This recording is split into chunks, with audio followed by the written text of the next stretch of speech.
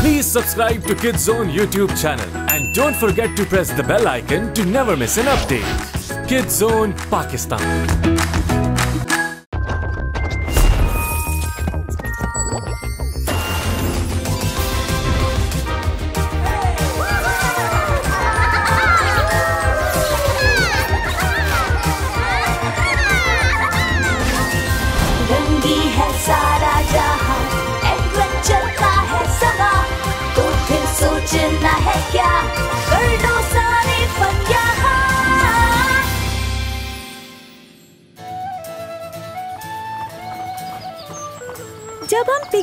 बुगाट के पास जाएँगे तो उसे याद कराना है कि हमारे पास स्पेरमेंट भी खत्म हो रहा है। और हाँ साथ में थोड़ा स्ट्रॉबेरी जैम भी लेते आना। कोई भी चीज़ मत भूलना पेट्रोल। दिन ब दिन इस लिस्ट में चीज़ें कम होती चली जा रही हैं। अगर इस लिस्ट को मैं बनाती तो पिकॉन जैम ज़रूर ऐड करती वो बहुत मज़े की होती है। अब बस भी करो गर्ल्स क्या तुम लोग इस बात से तंग नहीं होते कि हमें छोटे छोटे कामों के लिए इधर उधर भागना पड़ता है। ये काम कैट खुद भी कर सकता है। फेबल्टन के गार्डियन होने के नाते हमारा फ़र्ज़ बनता है कि सबकी मदद करें। कैट्स की भी। मुझे खुशी है कि हम बुगाट के पास जा रहे हैं। देखो जरा ये नज़ारा कितना खूबसूरत है।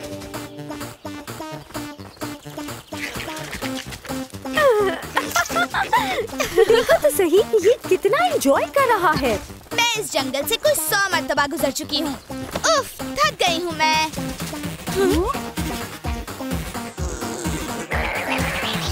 जैकी कहाँ जा रहे हो? रुक जाओ जैकी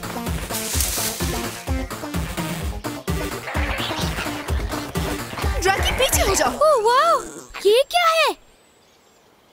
जैकी इसे कुछ मत कहना।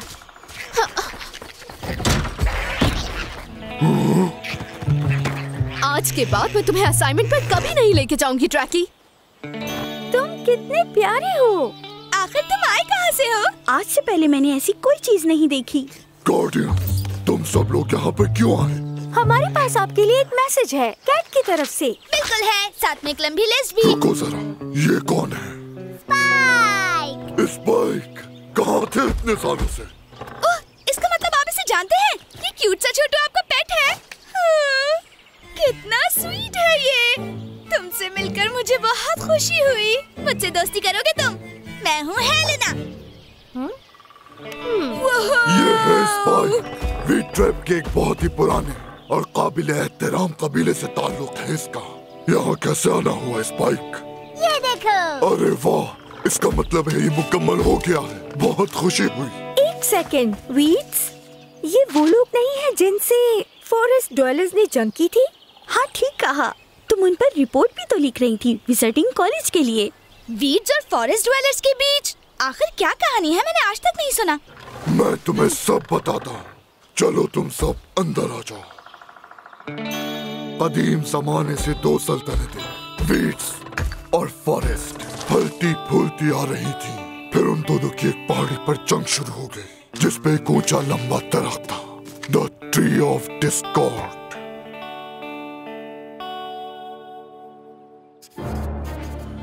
उस वक्त मैं फॉरेस्ट ड्यूलर्स की फौज में कमांडर हुआ करता था। हमारी मलिका एक फैसला कुन जंग की तैयारी कर रही थी। लेकिन अचानक हम पर हमला हो गया। जंग शिद्दत इख्तियार कर गई थी।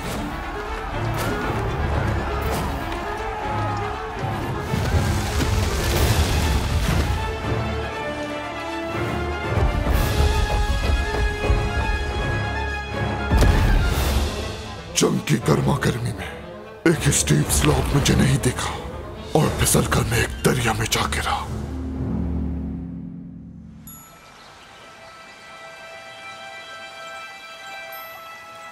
जब मुझे होश आया तो मैं दरिया के किनारे पे था। मैंने देखा एक छोटा वीट जिसका नाम स्पाइक था। उसने मुझे दरिया से बाहर निकाला और मेरी जान बचाई और उसे इस बात ने बिल्कुल परेशान नहीं किया कि मैं एक फॉरेस्ट ड्वेलर हूँ। कुछ ही देर बाद मैंने खुद को वीट्स के कैंप में पाया। स्पाइक ने मेरा ख्याल रखा।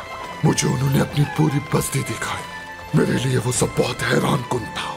वो लोग बिल्कुल भी बुरे नहीं थे। मुझे उनके कबीले से प्यार हो गया और मेरे दिल को सुकून नहीं मिल रहा था कि हम इनसे जंग पर हैं। इस बाइक ने मुझे एक कदीम बेस रिलीफ दिखाया। जिसमें उनके लोगों की कदीम दास्तान को दिखाया गया था। लेकिन बदकिस्मती से उस वक्त उसका एक अहम हिस्सा खो गया था, जो हाल ही में दरियाफ्त हुआ। माजी में दोनों सल्तनत अमन से तरक्की कर रही थी, लेकिन फिर दोनों बादशाहों के बच्चों में उस दरख्त पर झगड़ा हो गया। उनमें से एक ट्री हाउस बनाना चाहता था और एक उस पर चूल्हा लटकाना चाहता था।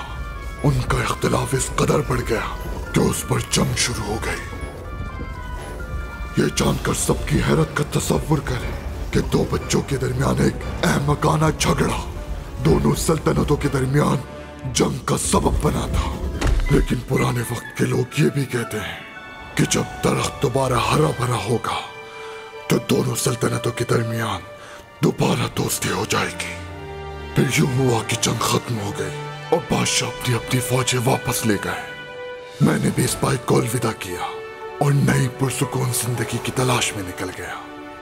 और इस तरह रास्ता मुझे फेबिल्टन ले आया। और यहाँ पे मैंने अपनी पुरसुकून ज़िंदगी शुरू की। और फिर एक दिन मेरी तुम लोगों से इस घर में मुलाकात हुई। वाह क्या कहानी है? फ़िल्मों से भी ज़्यादा अच्छी है। काश ऐसा हो जाए कि वीड्स एंड फॉरेस्ट फिर से दोस्त बन जाएँ। हाँ ये तो बहुत अच्छा होगा। वो लोग दोस्त बन चुके हैं। यही तो बताने मुझे इस बाइक मेरे पास आया है। बिल्कुल। क्या बात है? वहाँ ट्री हाउस भी है और स्विंग्स भी।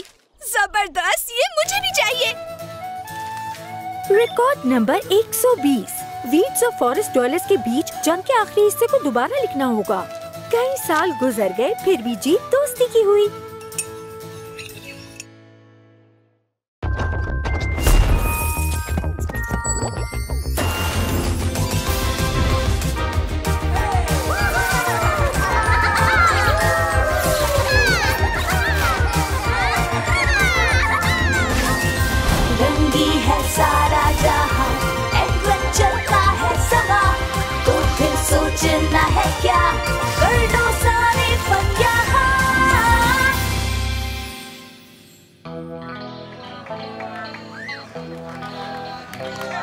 लगता है मुकाबला सख्त होने वाला है। और हमारे पास है दो कंटेस्टेंट्स जीतने के लिए बेताब।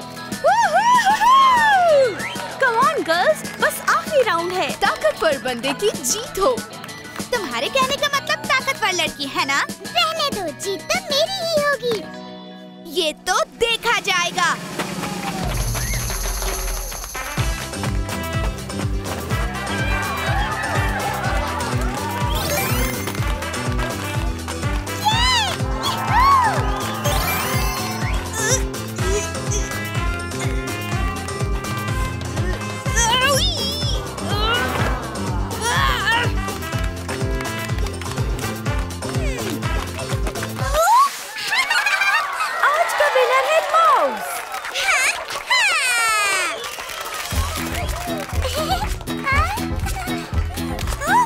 वैसे ये कोई इतनी भी बड़ी बात नहीं है। मैं आज फिट महसूस नहीं कर रही थी नाश्ते में कुछ ज़्यादा ही खा लिया था। वैसे तुम तो बहुत इंटेलिजेंट निकले। वैसे ये तुमने सीखा कहाँ से? कहाँ से? कहाँ से? ये लंबी कहानी है। मेरा मेडल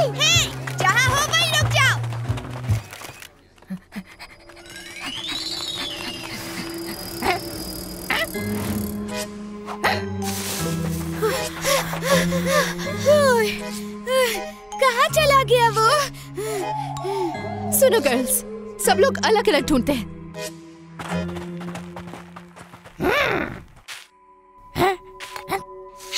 मैंने तुम्हें ढूंढ लिया। ब्लैक वन क्या ये तुम हो? ओह नो ये कैसे हुआ? आहा पकड़ लिया। जरा देखो इसके पास तो पूरा खजाना है। ओह तो इसके अलावा भी तुमने बहुत कुछ चुराया है। इस सिर्फ़ को शाही के पास ले चलते हैं। वो ही है जो इससे अच्छे से निपटेगा। नहीं ऐसा नहीं करना। इसे अकेला छोड़ दो। ये ये ऐसा आइंदा नहीं करेगा। है, लगता है भूल गए हो तुम। बात तो ऐसे कर रहे हैं जैसे खुद कभी चोरी न की हो। तुम्हारे शुशिक के बारे में मैं सब कुछ जानता हूँ। झूठ नहीं बोलो। हमारा शुशिक तुम्हारे जैसे नहीं है। हाँ, नहीं हेलेना। ब्लैक वन ने सही कहा। ऐसा कुछ है जो तुम नहीं जानती। मैं एक जादुई लाइब्रेरी में पैदा हुआ और वहीं बड़ा हुआ। हम एक खुशहाल ज़िंदगी गुजार रहे थे। मेरे बहन भाई किताबें खाते, जबकि मैं उन्हें पढ़ता था। सबसे ऊपर वाले शेल्फ पर मेरी खुफिया जगह थी।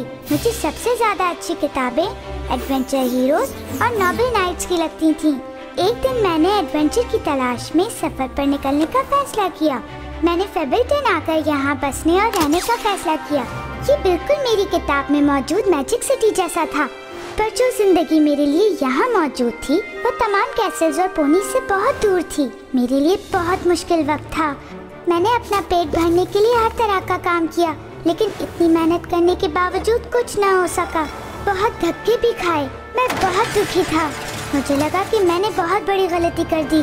अपने ख्वाबों के पीछे अपने घर का सुकून छोड़ दिया। मुझे कुछ समझ नहीं आ रहा था कि आखिर मैं क्या करूँ। और फिर मुझे ब्लैक वन मिला। ब्लैक वन मुझे विजियर के पास ले गया। विजियर मुझसे नरमी से पेश आया। मुझे खाने पीने और जॉब की ऑफ़र की। पता चला कि उन्हें मेरे जैसा ही छोटा और तेज असिस्टेंट चाहिए था। मैंने सोचे समझे बगैर ही हाँ कर दी। शुरू में बहुत मज़ा आता था। ब्लैकन और मैंने कई आर्टिफैक्ट्स ढूंढे और हाँ बहुत सारी सीक्रेट ड्राइंग्स भी ढूंढी लेकिन मुझे एहसास था कि ये जो कुछ कर रहे हैं वो ठीक नहीं है ये वो काम नहीं जिनके बारे में मैंने ख्वाब देखे थे और फिर मैंने जाने का फैसला किया मैंने ब्लैक वन को अपने साथ आने का कहा मुझे लगा वो मेरा दोस्त है लेकिन उसने वीजियर को मेरे इरादे बता दिए वीजियर ने मुझे धमकी दी कि मैंने अगर उसका हुक्म मानने से इनकार किया तो वो मुझे माउस किंग के रहमो करम पर छोड़ देगा। मैंने बहाना किया कि मैं राज़ी हो गया हूँ और फरार होने के मंसूबे बनाने लगा। मैंने अपने फरार होने के लिए वो दिन चुना, जिस दिन माउस किंग ने चीज़ मून पर जाना था। लेकिन उससे पहले मुझे ड्रैगन टेयर हासिल करना पड़ा। आगे आप जानते हैं कि क्या हुआ। मैरी ने मेरी मदद की और माउस किंग से बचा लिया। बिल्कुल।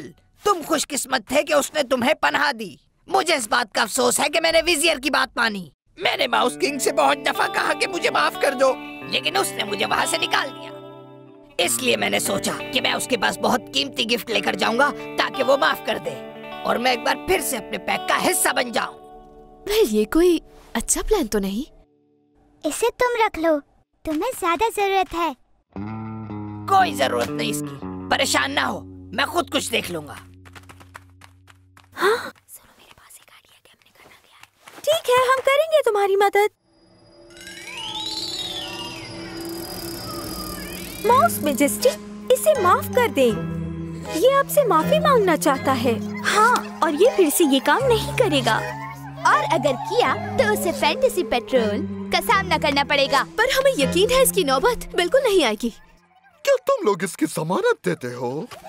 हाँ, हाँ हम जमानत दे सकते हैं। हाँ बिल्कुल। तो फिर ठीक है। हम ब्लैक वन की माफ़ी कबूल करते हैं। अब तुम वापस आ सकते हो। अब तो खुश हो ना? क्या? मुझे माफ़ कर दिया? तुम्हारा बहुत शुक्रिया। हाँ मैंने तुम्हें माफ़ किया लेकिन तुम मुझसे मिलने ज़रूर आना ठीक है? हाँ ठीक है। तुम बहुत अच्छे हो। हे, तुम छोटे ज़रूर हो लेकिन मैं जानता था कि तुम्हारा दिल बहुत बड़ा है।